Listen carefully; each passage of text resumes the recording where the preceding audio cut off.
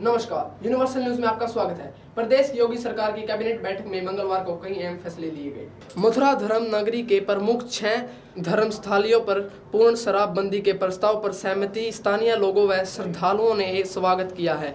बता दें कि गत दो माह पूर्व प्रदेश सरकार ने मथुरा के बरसाना, गोवर्धन, नंदगांव, राधाकुंड, बलदेव, गोकुल आदि को पहले ही तीर्थ स्थल घोषित कर दिया था। तीर्थ स्थल की घोषणा के बाद से ही इन स्थलों पर पूर्ण शराबबंदी की आहट भी सुनाई देने लगी थी। मंगलवार को हुए इस फैसले की खबर पर स्थानीय लोगों व श्रद्धालुओं ने वार्ता तो सभी ने एक सुर में प्रदेश सरकार के इस फैसले पर खुशी जताते हुए तो पूर्व ही लागू कर देने की बात कही।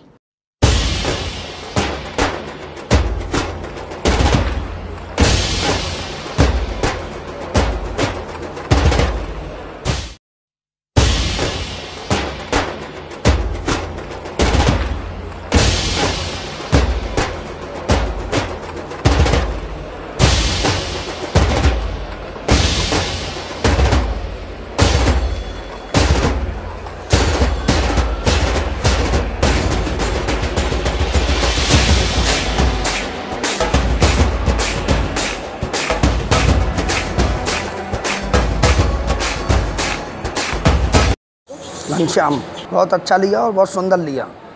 और ऐसा ही होना चाहिए। भगवान की कृपा से शुद्धता होनी चाहिए। परकम्मा के अंदर किसी भी प्रकार का कोई भी नशीला पदार्थ नहीं बेचा जाएगा। सुंदर होना चाहिए अच्छा होना चाहिए। ठाकुर जी की सेवा में मन अच्छा और पवित्र तन अच्छा होना चाहिए। क्या नाम है आपका?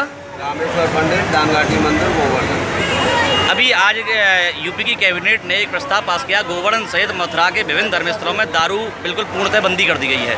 आप किस रूप में लेते हैं इस निर्णय को? बहुत बढ़िया निर्णय लिया है सरकार ने। सरकार को बहुत पहले निर्णय ले लेना चाहिए था। इससे बहुत समाज में और अपने ब्रज में